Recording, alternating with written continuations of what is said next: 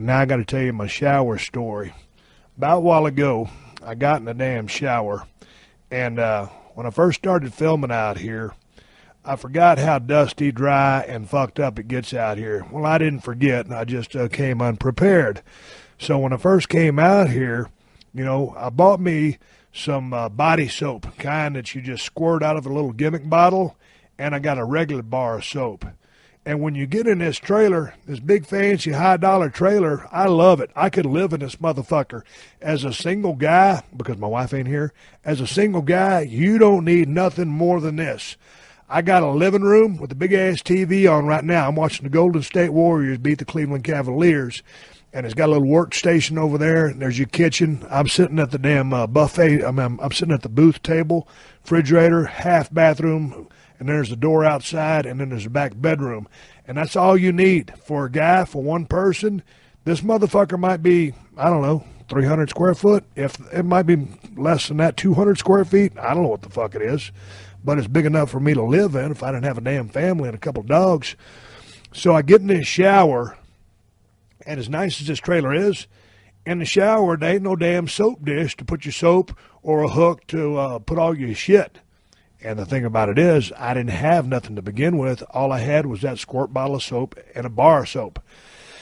And normally, because when I'm in the shower uh, at home in Marina Del Rey and I, I'm not dirty as fuck, I just squirt the soap in my hands and wash my body with my hands because I'm a guy. And I had stopped using the scrubber and a stick a while back just because I got tired of it.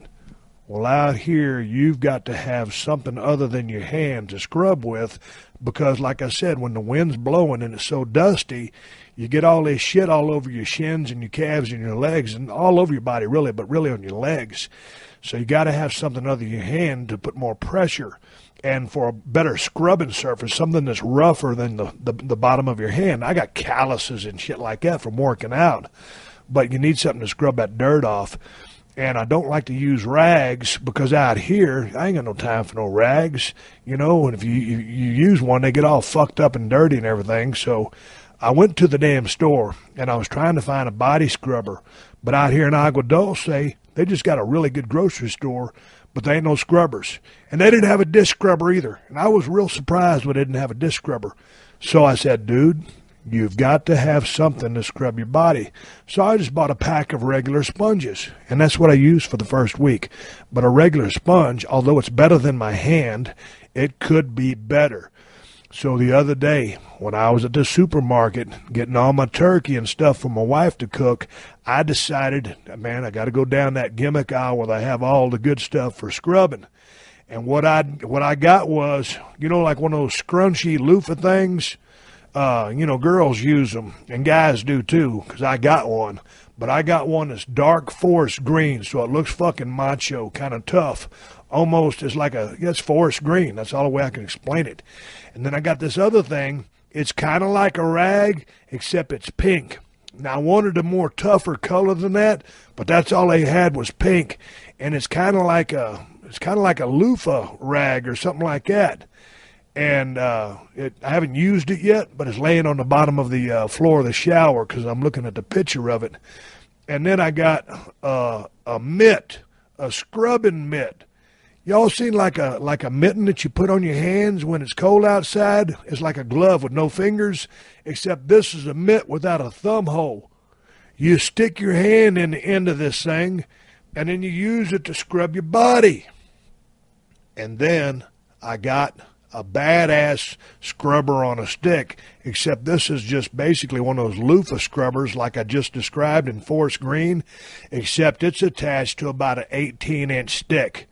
And that thing is premier, man. You talk about a good piece of wood man, I get that thing and I squirt that soap on there and I scrub my back all between my shoulder blades. And then I'm really able just barely bend down and just scrub the fuck out of my shins and my calves and all that. So I'm real impressed with that damn loofah gimmick on a stick. And it's got a little leather uh, string tied onto the end of it if you were to hang it on a hook. Problem is, ain't no hook in this goddamn shower. So I got it all sitting there on the floor. Well, it's sitting on the floor now, but here's what happened. Uh, I was taking a shower earlier, and I got my Bose Bluetooth speaker in there, and I got it propped up on the towel rack so I can hear it pretty good. And I got my iPhone. Now my iPhone has got about a five foot charge cord, so I got it plugged in. I'm charging it, and I kind of got it resting on the uh, the the lid of the toilet because I closed the lid to the toilet, so it's within striking distance if I'm getting an important phone call or something like that. So I'm in there taking a shower, and a Michael Jackson song comes on uh, the Pandora radio because I was listening to Michael Jackson radio. So man, all of a sudden, man, it's, it's beat it. And if you remember that video from back in the day when Michael Jackson, he's one of the best dancers of all time. He's one of the best singers of all time. He's one of the greatest entertainers of all time. There's only one Michael Jackson. So man, the song hits, you know, and I'm like, man. And here's the thing: at the time when I was in the shower, I was using that little glove and only got one glove. So I was thinking, like, man, I'm just like Michael Jackson. I got I got this one little uh, scrubber glove on, and you remember Michael Jackson used to wear one glove. I said, man, this will be the ticket. I said, you know, diagonally across his shower from corner to corner, it's about three moonwalk steps. So I figured a Michael Jackson going on, I'm kind of grooving to the beat, and I was going to moonwalk from corner to corner. Now, reality is probably only about two moonwalk steps, but I'm not very good at moonwalking anyway so it doesn't need to be real far, and nobody can see me. And I was in Michael Jackson mode, and I was grooving in the shower, and I was all soaped up with my scrubber on my uh, my my scrubber glove on my hand, and I I I kicked up that damn foot and tried to arch up my foot, and I was gonna moonwalk across the shower. When I did, I hit that motherfucking bar of soap. And when I hit that bar soap, my leg went flying up in the air. My shoulder blades come down. One arm got pinned behind me, and the other damn leg got pinned up against the goddamn wall. And I was stuck. I was stuck in the goddamn shower, and this motherfucker's probably three and a half by three and a half. Water's beating down on my damn face, and I'm laying there with my arm trapped, my leg trapped, and I can't move but my right arm. Here's the thing my right arm don't straighten out all the way. There's a goddamn fly just landed on him. I was going to hit him with a fucking baseball cap. A fly landed on the towel that I'm trying to kill the flies with, so I was going to have to use my baseball cap to kill the fly on the fly swatter towel. So anyway, back to the story.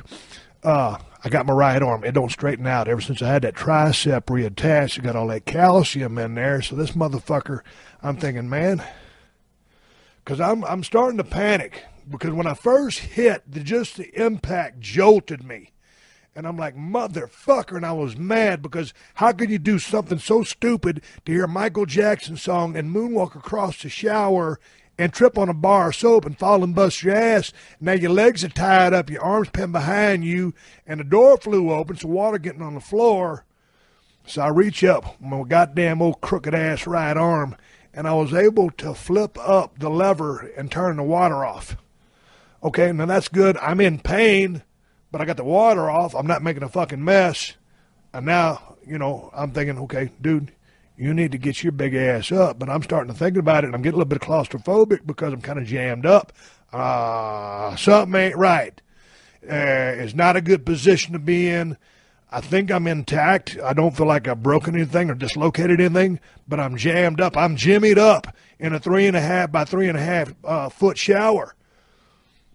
And I said, man, fucking 10 minutes goes by and I'm I'm about as independent and as strong as you can be.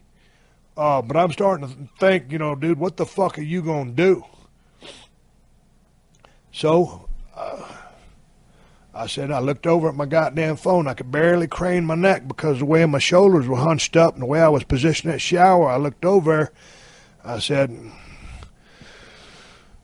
you put that phone there, you got to reach that phone with your damn fucking bent ass right arm. And I fucking reached out to shower. I could barely touch that motherfucker with my goddamn middle finger. The middle finger that's flipped off crowds all over the world was the middle finger that I needed would to inch that goddamn iPhone off the lid of that commode into my fucking palm. And I jerked it and unplugged it and I said, I got my phone in my hand. I said, well, who the fuck am I going to call? I said, I can call my goddamn wife. Uh, who else am I going to call? I need help. I've fallen and I can't get up, and I'm in a goddamn shower, naked, a global icon and a national treasure in a position of weakness. What the fuck am I going to do? Call my wife and tell her about it, or call 911? So I called my wife. I said, God damn, you ain't to fucking believe this. And she goes, I don't know what. Cause my wife always assumes the worst when I say, God damn, you ain't to believe this. Because with me, it's always something fucked up. And I said, I fell in the goddamn shower and I'm fucking trapped. She goes, Oh, Steve, how? And she's the way she says that, it's like like you must be one stupid motherfucker because how can a, a grown man, one of the baddest motherfuckers that ever walked planet Earth, fall, be trapped in a shower and incapacitated? And so I told her about the glove and the Michael Jackson song, and then I hit the bar of soap trying to moonwalk, and she said, "Are you fucking kidding me?" I said, "No, I'm fucking serious as a heart attack. This is fucking straight up shoot. I'm trapped in the shower." She said, Well, what do you want me to do? Come get you? And I started thinking about it. I'm like, Well, what do you fucking do? I'm a fucking 50 year old man, fell in the shower. I'm trapped. I can't get up. But, you know, do I want my wife to drive 60 miles from Marina Del Rey to Agua Dulce and then to come in here and rescue me from the shower? And then, uh, that being said, if she's able to maybe bring a, a, a crowbar or a fucking shoehorn or some KY jelly, whatever she needs to do, get my ass untrapped you know, is she physically strong enough to do it? And do I want to put her through the trouble of loading up Hershey and Mula and Shona has to stay at the house because she don't like to get in cars? And I said, you know what? I thought about calling the guy that drives the water truck out here because me and him turned into to, to be uh, friends when he comes out here. And I said, man, I, I said, I've known this dude for a while. We've been filming out here three seasons. I could call him but I said, man, I'm kind of in a compromising position, uh, being uh, in the way that I am. So maybe I might need somebody to keep this shit on the down low and have some professional assistance. So I told my wife, I said, well, fuck, I guess I'm going to call 911. And she goes, oh, Steve, you can't call 911. I said, well, what the fuck am I going to do? I said, I'm trapped in the shower. I said, my legs are going numb. My goddamn neck's hurting me. And now it's getting hard to swallow because I'm just all fucked up and I, I can't. My my other arm is trapped up behind me. It's the goddamnest thing you ever saw, and it's a straight up shoot. So I said, I got to call nine one one. I said, I'll call you back. And so I, I said, uh, I called 911, and uh, the dude said, All right, 911 emergency. How can I help you? I said, I've fallen and I can't get up. And he says, Is this some kind of joke? I said, Nope. I sound just like a commercial, but it's a straight up shoot. I'm in a, uh, I'm in a camper. I'm out here on a location. I tripped in the shower and I fell and I'm jammed up against the walls and my legs are trapped underneath me. One of my arms is trapped underneath me and I can't get up. And he, the dude said, Well, how did you fall in the shower? And I said, Dude, I just fell because I'm not going to sit there and explain to the dude that I got one glove on like Michael Jackson. I'm going to moonwalk and I slipped on a bar of soap because he's not going to believe me. He's going to think I'm ribbing and he's not going to come help me out. And I just said, Dude, it's a long story. This is a legit call. I for shoot fell in the shower, and he goes, "Someone shot at you, sir? Is there is there gunfire over there?" And I, I said, "No, there ain't no gunfire over there, dude. I'm just talking in wrestler talk. Uh, uh, this is for real. I really fell in the shower, and this is where being coming from the wrestling world can sometimes work against you when you try to use wrestling lingo and when you say for a shoot, because for a shoot means really this is true, this really happened. So I can't say for a shoot because he thinks shots fired, and he's not going to come or send an ambulance or the paramedics if shots have been fired. They'll send the cops. I don't need the cops. I need somebody to pull my big ass up and get me out of the shower. And so anyway, he says, "Okay, well, what's your name?" I said, "Hey, Arthur." And he said, uh, "Sir, I didn't understand your name," and I kind of mumbled it because I didn't really want my name out there on the wire. And I said, "Hey, Arthur," and uh, he said, "Sir, can you spell that for me?" And I said, "Okay." I said, "S T E V E A U S T I N." He goes, "Oh, Steve Austin." I said, yeah, Steve Austin. He goes, why didn't you say that the first time? I said, because I was trying to kayfabe his whole motherfucker. He says, who's kayfabe? I said, man, forget about it. I said, I just forget I ever said kayfabe, okay? And uh, he goes, no, who's kayfabe? Is she there? Can she help you? I said, man, my name is Steve Austin. I'm a global icon and a national treasure. I'm in a bad way. I can't feel my legs, can't feel my arm, and uh, I'm real claustrophobic and I'm in a bad way and I'm in pain. And can you send somebody out here to get me out of the shower? And uh, he said, Yes, I can, Mr. Austin. So I said, Okay. He said, Where you at? I said, I'm over here at the movie ranch in Agua Dulce. And if you come in the location and you hang a right, I said, My trailer's up there. And just come on in because I ain't got the door locked. And uh, you'll see my uh, my vehicle out there. It's a black SUV, and I'm in there, and I'm in the shower in the back of the bedroom. So he goes, "Okay, Mr. Austin." I says, uh, "I have help on the way." And I said, "All right." And uh, I said, "Am I supposed to stay on the phone and uh, just talk with you and, and uh, let you know what's going on?" He goes, "Well, you can if you want to, but if you feel like you're okay, I've got other calls I can take care of and, and help people out." I said, "No, no, no." I said, "I'm good. If if you're sending guys down," I said, "What are you sending?"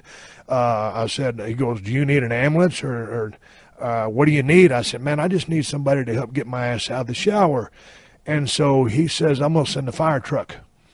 And I said, well, I said, yeah, man, dude, I'm a fireman. They're badass motherfuckers. I said, they pick my big ass up.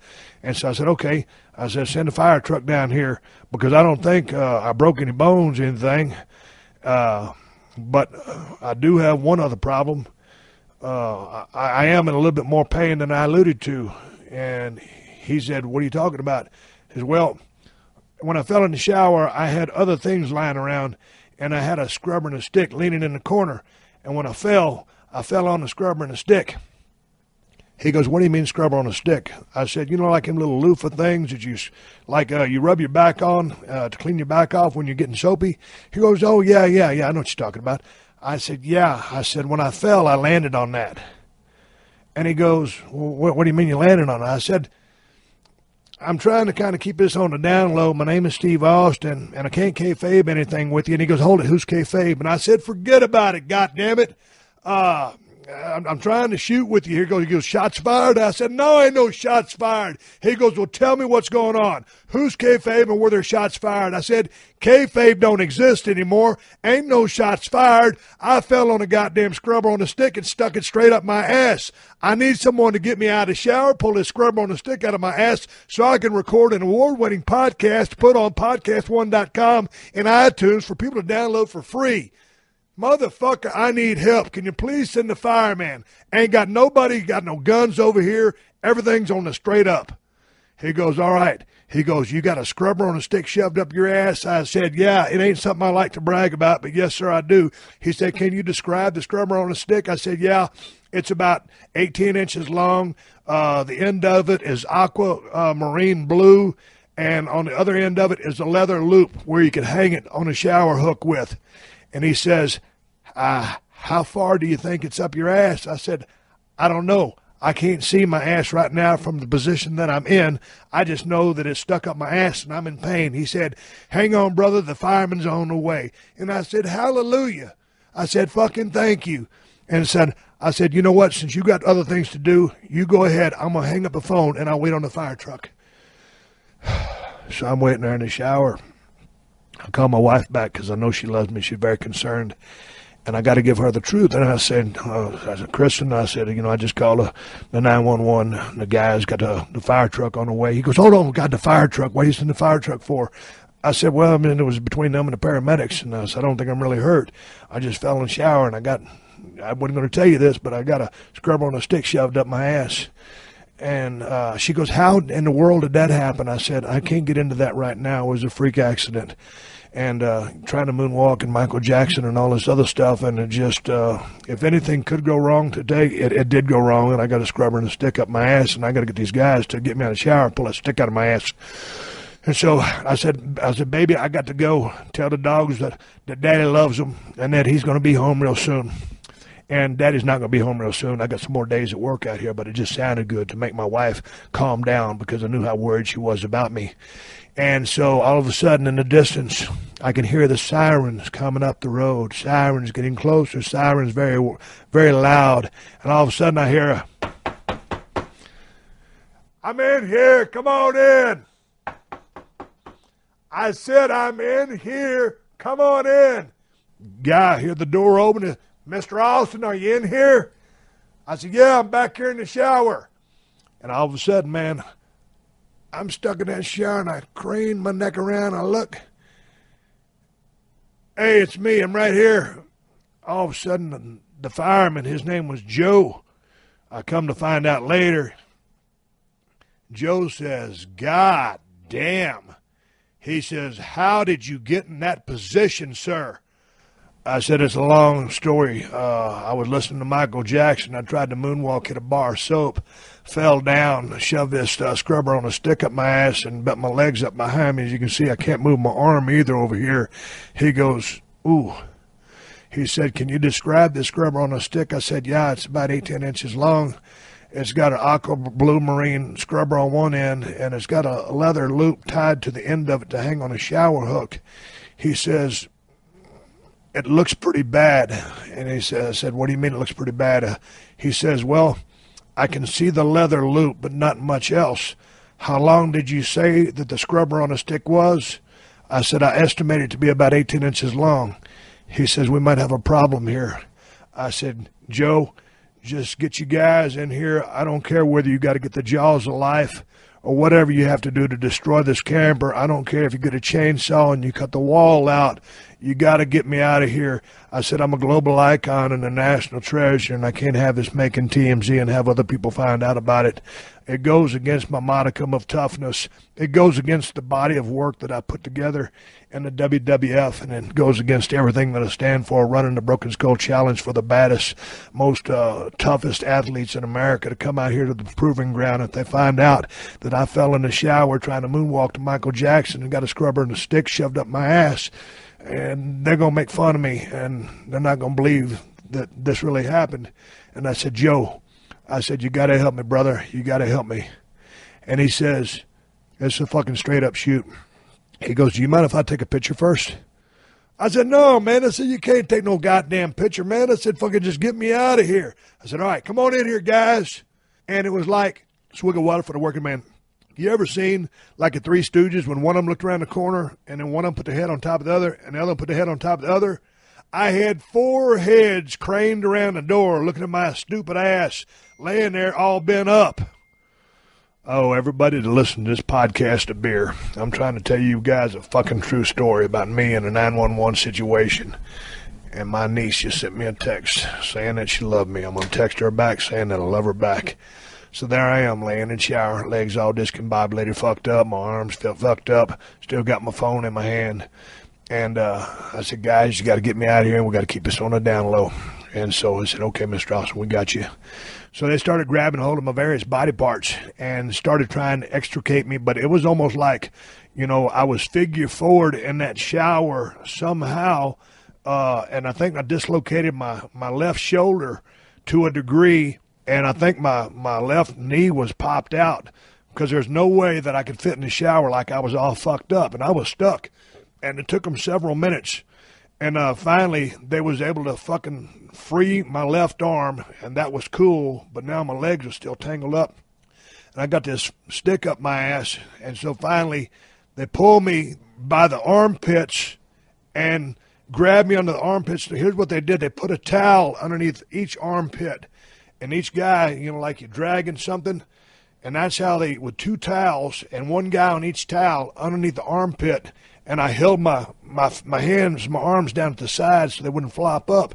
And that's how, how they pulled me out of that shower and they pulled it, pow! And my shoulder shot back in the joint. And I was laying there on the goddamn floor. And I said, Motherfucker, thank you. I said, Can you guys help me up? And I'm laying there naked as a fucking jaybird. Got four firemen out there. They got full fire gear on uh, you know, they got the helmets and everything on. I said, goddamn guys, there ain't no fire here. You can take them jackets off. And uh, they said, well, we got you up. Uh, what, what do you want us to do for you now? I said, you ever make a fist and hold your thumb up and then you kind of point back at yourself like RVD used to do? Well, I did the RVD thing and I said, guys, I said, you got to pull this scrubber on a stick out of my ass. And I said, oh, goddamn, we forgot about that and uh, they said, "Bend over."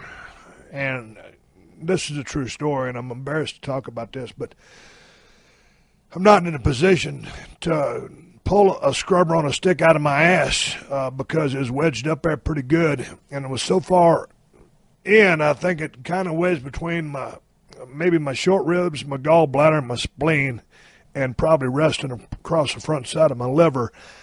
I used to be a pro wrestler. I'm not really a biology uh, specialist and know a whole lot about the insides of the human body, but it was wedged to get up against something and wedged up in there pretty good. And so the old boy says, Well, I got a Leatherman here with a hook on it, and he was able to hook that damn leather loop that's on the end of that scrubber on a stick.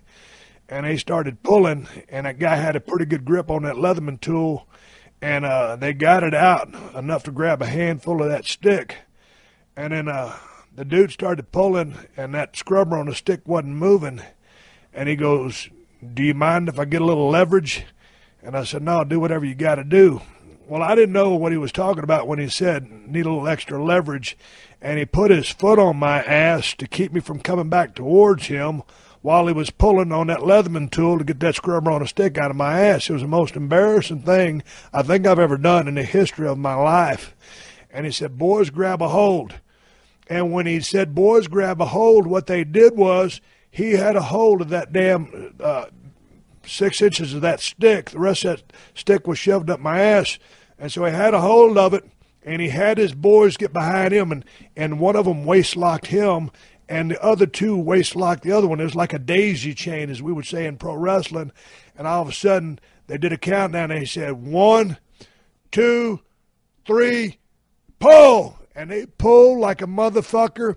And I kind of relaxed at the same time because I think I was clenched up from all the trauma and I was trapping that damn stick inside my ass. And I didn't know my ass muscles was goddamn strong. And that thing had a hold that scrubber up there was wedged up against my spleen and my gallbladder and my liver, and I was able to relax. And finally, that scrubber on the stick just came flying out of my ass, and the four firemen took a goddamn bump on the damn bedroom floor. So I looked at them. I said, Thank you very much. Before you guys get up, do you mind if I take a picture? And uh, so anyway, fuck, they started laughing like a motherfucker. And they said, Mr. Austin, are you okay? Do you want to go in and see medical help and see if there's any internal hemorrhaging or bleeding? I said, guys, I said, I think I'm good to go. Uh, please, uh, let me let me throw on a towel and uh, get you guys out of here. And they said, hey, man, do you mind if we take some pictures with you? I said, man, for everything that you did, if you keep this on the down low, uh, and don't ever tell nobody. I'll take a picture with you guys. And so I put some underwear and some shorts on and put a tank top on and some flip flops and went outside and the I had some beer in the refrigerator and I gave him guys a beer. They wasn't supposed to drink a beer because they was on the job, but we drank a beer out there together and laughed like a motherfucker about what had just happened. And I said, guys, I said, please do not ever tell anybody about this story. And then one guy says, Well, Steve, well, you got a podcast, don't you? I said, Yeah, I got a podcast. Why? He goes, Because I listen to it. I said, Oh, dude. I said, You listen to the Family Friendly Show. He goes, No, I listen to both of them. I, I subscribe and download to both the shows. Uh, I said, Yeah. And, uh, okay, I said, I appreciate you listening to the show. I said, uh, Well, aren't you going to talk about this on your podcast? I said, yeah, yeah. I mean, I can talk about it on my podcast because nobody listens to the show. But if you guys spread the word, then everybody will know.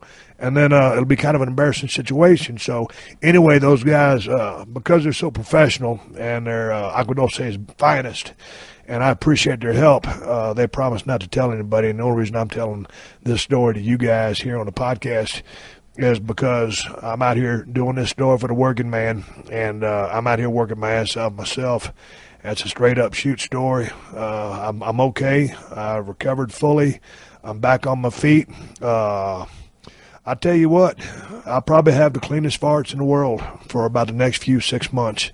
Because uh, when that scrubber on the stick came out, hallelujah, man. Uh, you know, all that soap and stuff really cleaned my insides out. I tell you what, I could uh, fart in front of the Pope right now and not even offend him because the smell would be so bubbly, sparkly, and shiny that it wouldn't bother him and that's no disrespect to the Pope. I'm just saying if uh, I was able to go visit the Vatican and farted accidentally, never try to fart on purpose, but that wouldn't offend him because the, the, the fart, my farts have been cleansed. With that being said, with that being said, folks, I'm coming right back. I'm going to take a break. I'm going to take a pause for the calls and answer your questions that you sent in to questions at steveaustinshow.com.